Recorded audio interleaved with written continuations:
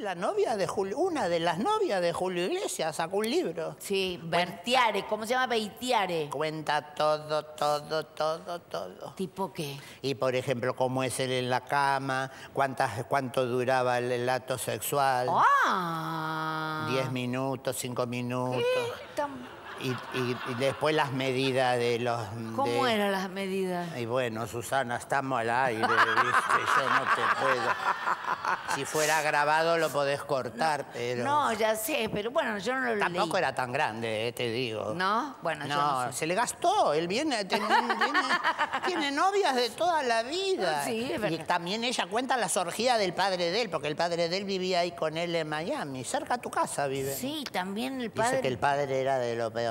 Orgía, orgía. Bueno, le gustaba, mu- era mujeriego. Yo lo digo con respeto. ¿eh? Obvio, No lo estamos mujeriego. Y Bueno, diciendo Julio siempre fue mujeriego, pero después las mujeres se le tiraban encima. Abuela era eh, tan buen mozo y cantaba tan divino. No, está bien, que haga lo que los artistas tienen que hacer lo que quieren, Obvio, ¿viste? sí. Y a esta la tendría que haber estrangulado cuando la dejó para que no Sí. escriba.